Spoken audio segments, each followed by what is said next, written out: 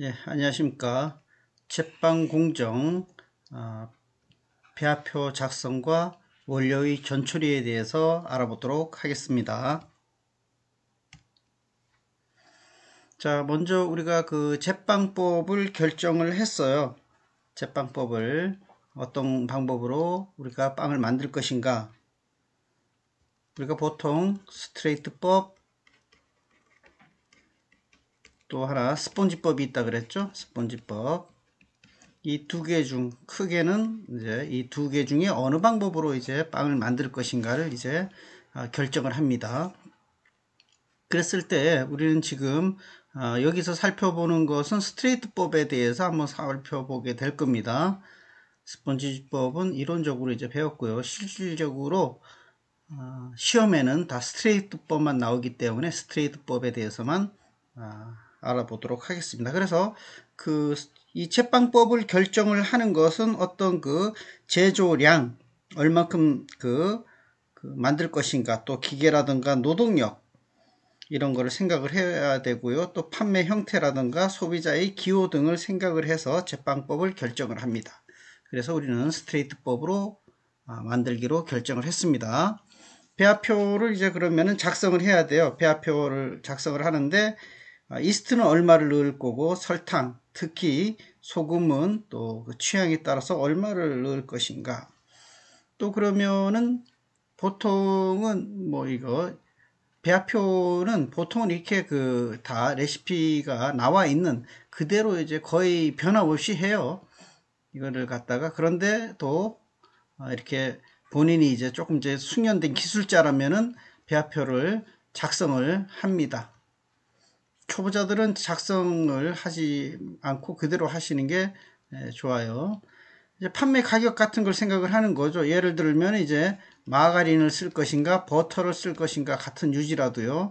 이게 훨씬 더 비싸니까 어, 또 소비자들의 그런 그 기호에 따라서 우리는 마가린을 쓸 것인가 버터를 쓸 것인가 이런 그 재료에 대한 배합 비율을 갖다가 결정을 해야 됩니다. 얼마를 넣을 것인가 그러면은 이것을 갖다 10% 넣을 것인가 12% 넣을 것인가 요거를 이제 다 예, 여러분이 계산을 합니다. 자 그런 다음에 어, 여기에서 보시면 베이커스 퍼센트라고 하는 것이 있는데요. 이것이 뭐냐? 밀가루입니다. 밀가루. 밀가루를 기준 밀가루 기준에 대해서 다른 재료. 밀가루에 비해서 여기 다른 재료는 뭐 소금 설탕 버터가 되겠죠. 이런 것들의 비율을 100분율로 나타낸 값이 baker's percent라고 하는 겁니다. 지금 여기에 나와 있는 거죠. 100분율이라고 되어 있는 거 밀가루가 100으로 되어 있죠. 이것이 바로 baker's percent인 것입니다. 우리가 지금까지 알고 있던 것은 true percent였어요. 즉 밀가루 뭐 50% 예를 들면은 어, 25% 이렇게 하고요. 그 다음 버터 25% 유지 25% 계란 25% 이렇게 해서 다 더하면 이게 100%죠?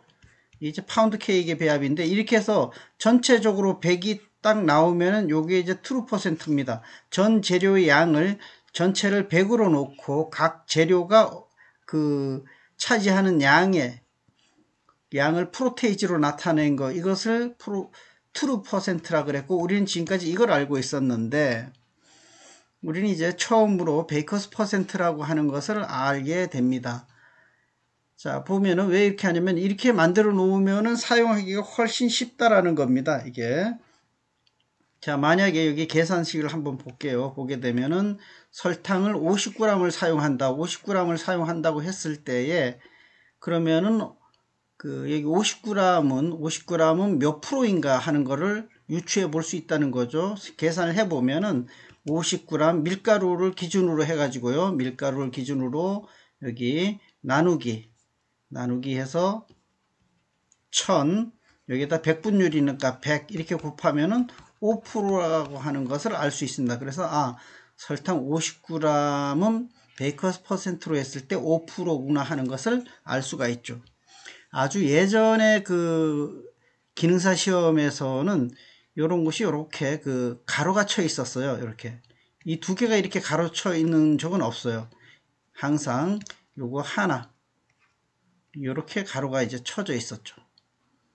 그렇게 되면은 요 가루를 이거 다 채워야 돼요. 요걸 이제. 그러면 나누기 곱하기를 하면은 다 여기 채워지잖아요. 이게. 근데 요 시험 배합이 예전에 이제 5점이었습니다.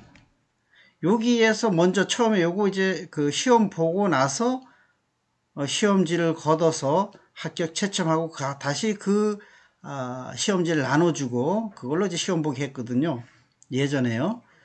그랬는데 이것을 보면은요. 한 그때 당시에 50%는 이 계산을 못하고 50% 10명의 시험 보면 거의 한 5명은 이 나눗셈, 곱셈, 이 산수를 못 해가지고 이 배합표 작성에서 5점을 날리는 이런 그 경우를 많이 봤습니다. 자, 백분율로 이렇게 나타나요. 그래서 항상 이 베이커스 퍼센트의 백분율은 100이 넘게 돼 있고요. 중량도 이렇게 다 더해서 나옵니다. 자, 우리가 배합표를 만들었으면은 재료를 이제 계량을 하도록 하겠습니다. 그래서 빵의 그 양을 정하고 어떻게 해요? 예를 들면 식빵 우리가 10개를 만들다 이렇게 할 것 같으면은 거기에 맞게끔 배합표를 맞게 재료 준비를 하겠죠. 그래서 이 적은 양일수록 정확하게 계량을 해야 돼. 예를 들면은 밀가루가 1000g이 들어간다고 합시다. 밀가루가 1000g이 들어가면 이게 이제 990g을 달았다. 그러면은 요거는 10g 차이가 나죠? 이거 큰 의미가 없어요. 괜찮아요. 이런 건. 그런데 예를 들어서 제빵 계량제 같은 거요. 계량제가 10g이 들어가는데 이것을 8g을 계량을 했다면 여기에서 이게 2g 차이지만은 훨씬 더 많은 그 차이가 난다. 그렇기 때문에 적은 양을 갖다가 계량을 할 때는 많이 그 정확하게 잴 수 있도록 여러분이 해야겠습니다.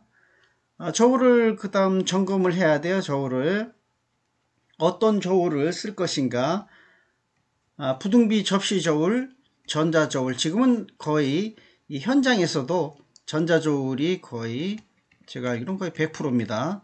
현재 시험장에서는 당연히 거의 100%고요. 그러나 몇 년 전만 해도 이 부둥비 저울이 그 시험장에도 있었고요. 현장에도 많이 사용했습니다. 지금은 아마 이거 박물관에나 가야지 볼 수 있는 이런 그 저울인데요. 여기 이렇게 하고 여기 추를 이렇게 이런 식으로 제가 그림을 잘 못 그리는데 이렇게 갖고서는 여기 눈금을 왔다 갔다 하면서 다는 이런 저울입니다. 자 이렇게 해서 이제 우리는 재료를 다 아, 계량을 했어요. 다음 할 것은 원료의 전처리입니다. 원료의 전처리를 어떻게 할 것인가 먼저 우리가 가루 재료 밀가루를 보도록 할게요. 밀가루를 계량을 하고 나서요. 그거는 탈지 분유하고 반드시 좀 체질을 어, 칠 필요가 있어요. 탈지 분유하고 어, 왜 그러냐면 이 탈취분유는 굉장히 흡수성이 있어 갖고 예를 들면 밖에 비가 온다던가 이러면은 수분이 그, 그 굉장히 그 상대 습도가 높죠. 그러면은 금방 그 습해져 갖고 덩어리가 지고 이러거든요. 그래서 이런 것은 반드시 밀가루하고 같이 채질을 해서 사용하는 것이 좋겠습니다 그 분말 재료를 채질하는 그 이유를 보게 되면요. 가루 속에 밀가루 속에 있는 이물질이나 덩어리 이런 것들을 제거를 하고요. 또 이런 그 두 가지 재료를 고루 분산시키기 위해서죠. 적은 양으로 들어가는 아까 뭐 분유라던가 제빵 계량제 이런 것들 골고루 잘 섞이게끔 하기 위해서 하는 거고요. 그 다음 공기를 혼입시켜 갖고 아, 이 공기 혼입 중요한 겁니다. 산소가 들어가니까 발효를 촉진시키고 또 흡수율도 증가가 되게 되겠어요. 그래서 이 밀가루가 요만한 밀가루를 채질을 하면 15% 늘어난 떨어지면서 공기를 품고 떨어지니까 이렇게 부피가 이렇게 커집니다. 그죠? 그래서 분말, 가루 재료들을 채질하는 그 이유 여기에 대해서 알아두시면 되겠습니다.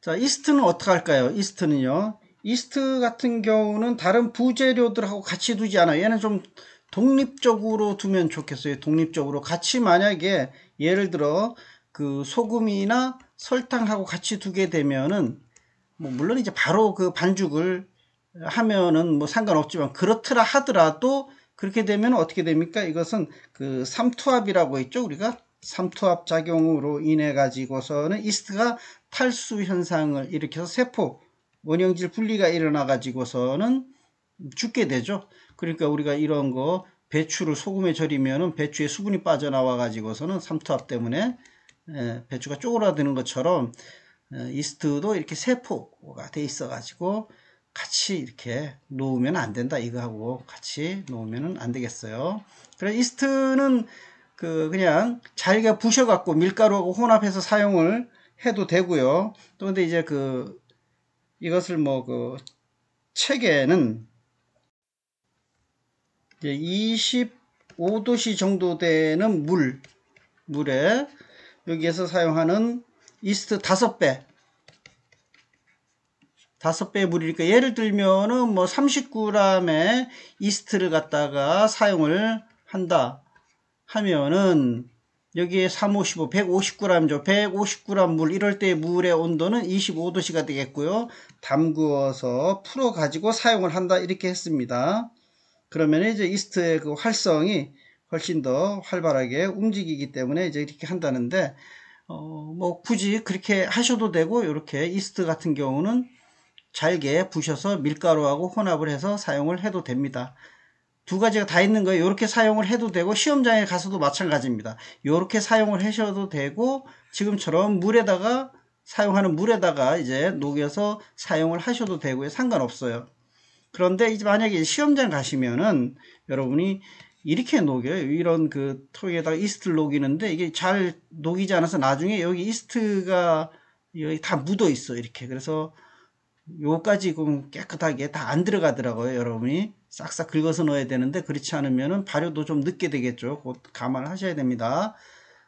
그래서 굳이 안 녹이시고 그냥 아, 잘게 밀가루에 부셔서 해도 되는데 이 건조 효모 우리가 이거는 좀 안 쓰지만은 이것은 우리가 배웠죠. 40도씨 물에다가 용해시켜서 이거는 반드시 이렇게 사, 어, 녹여서 사용을 해줘야 되는 거죠. 어떻게 해요? 우리 배웠습니다. 40도씨 물에 10배 물이죠. 30g을 사용한다고 하면은 여기에 10배니까 300g의 물에다가 20분 정도 예비 발효 시켜 가지고 사용한다 그랬어요. 자, 그 다음에 이제 우유 볼게요. 우유. 우유는 희망 온도에 맞춰서 우리가 항상 이 희망 온도 27도씨를 생각을 해야 될 겁니다. 맞춰서 뭐 데우거나 아니면 냉장고에 있는 걸 쓰거나 이렇게 해야죠.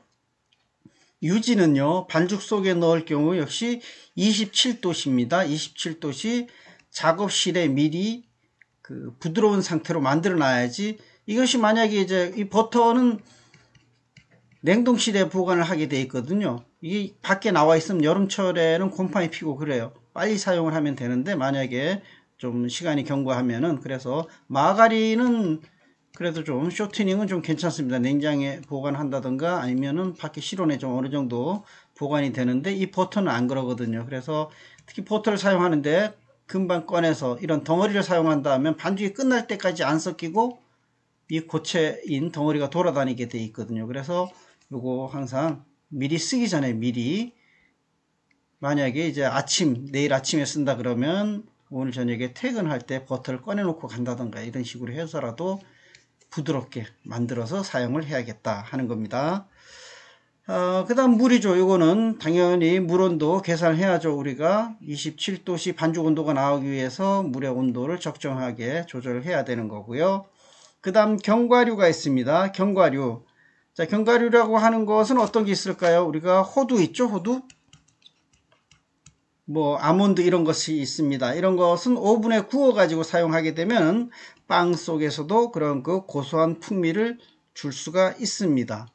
이거 어떻게 하냐면은요. 그 현장에서도 이 호두 분태를 이제 사용하죠. 호두 분태를 많이 사용하는데 이 분태를 가지고 박스로 이렇게 오면 이걸 이제 물로 씻어요. 그런 다음에 철판에 깔아서 굽습니다. 어. 너무 많이 또 구우면 안 되고요. 살짝 구워 가지고 놔뒀다가 요거를 이제 사용하거든요. 그래서 뭐 이것도 호두를 구워서 많이 또 놔두면 안 돼요. 오래 그 어, 실온에 많이 방치하게 되면 이게 지방이 많기 때문에 산화가 돼서 쩐내가 나기 때문에 어, 이렇게 하지 않도록 합니다. 그러니까 여기서 한번 씻어 가지고 부어서 고소함을 더 한층 업그레이드 시키는 거죠. 건과일은 어떨까요? 건과일은 미지근한 물로 씻어서 다량의 럼주에 절이게 된다. 자, 건과일을 우리가 사용하는 건 뭐가 있을까요? 건과일은 우리가 열대과일이라고 하는 거 사용을 해요. 뭐, 건 무화과도 있을 것 같고요. 또 어떤 게 있을까요? 건 크랜베리도 있죠. 뭐 이런 거가 있는데 이런 것들은 어떻게 사용을 하느냐 한번 씻어 갖고 특히 이제 그런 이 말라 있는 거기 때문에 이런 것들은요 현장에서는 이 크랜베리 같은 거를 많이 사용하죠. 예전에는 건포도를 많이 사용했는데 건포도를 좀 싫어해서 크랜베리를 많이 좀 사용을 합니다. 그러다 보면은 뭐 크랜베리 스콘 만들고 이럴 때 이 크랜베리를 물로 씻어요. 물로 씻어 가지고 이거를 끓입니다. 끓는 물에 탁 담궈 가지고서는 뭐 5분에서 한 10분 정도 팔팔 끓여요. 끓인 다음에 체에 받쳐 갖고 거기에다가 이제 포도주라던가 또 럼주 이런 거 등등 넣어 갖고 이제 숙성을 시켜 가지고서는 전철이죠. 전철을 해서 쓰고 있습니다. 자, 건포도의 전철에 대해서 우리가 좀 알고 있어야 되는데요. 이거 건포도의 양의 12%에 해당하는 27도씨. 여기서 27도씨는 결국 이 반죽 온도를 생각을 한 거죠. 27도씨 물을 넣어서 4시간 그 비닐팩에 책에 보면 이제 비닐팩에 넣어서 4시간 이상 전처리 후에 사용한다 이렇게 나와 있습니다. 그런데 이 시험장에서는 어때요? 시험장에서는 이거 규정을 지킬 수가 없죠. 예전에 그 건포도 식빵이라고 있었는데요. 어, 바뀌면서 이 건포도 식빵이 이제 없어졌습니다. 그 전에는 건포도 식빵이 있었는데요. 우리가 건포도가 이제 들어가는 게 뭐가 있냐면 모카빵에 들어가죠. 모카빵에 건포도를 전처리 하는데 이 전처리를 하느냐 안 하느냐를 보는 겁니다.